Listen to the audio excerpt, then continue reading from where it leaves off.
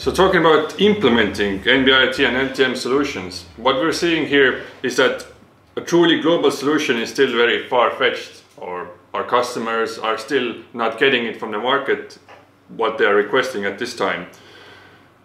The providers are offering a solution with fallback technology. So right now if a device manufacturer wants to deploy their device with uh, either Cat-M1 or NB-IoT, for example, then they would need to have a fallback to 2G, which is the most common one there, as they're supposed to overlap and then kind of cancel each other out.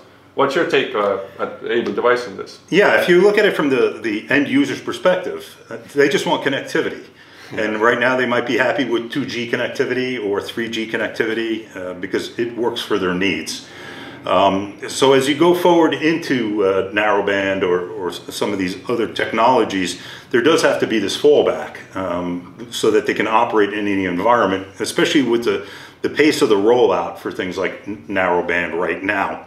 Um, it's, it's slower, the standards are, are, still evolving. You're to the point where you also don't have roaming agreements or, or interoperator uh, operability at this point. So in that sort of environment, you, you absolutely need to be able to fall back and operate in, in, different modes depending on what the device finds itself operating in.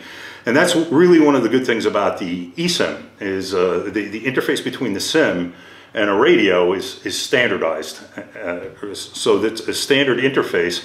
And with the eSIM, you, you can also, in the future, update the subscription or change the subscription to a different type should your needs change in the future going forward or the, the, the agreements, the roaming agreements and things start to catch up.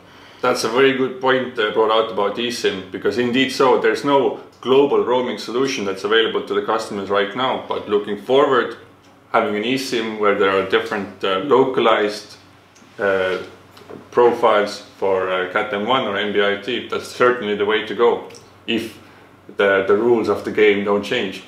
Yeah, it makes it very viable without having to have a unique SKU for each uh, of a device for each operator whose network you'd be operating on.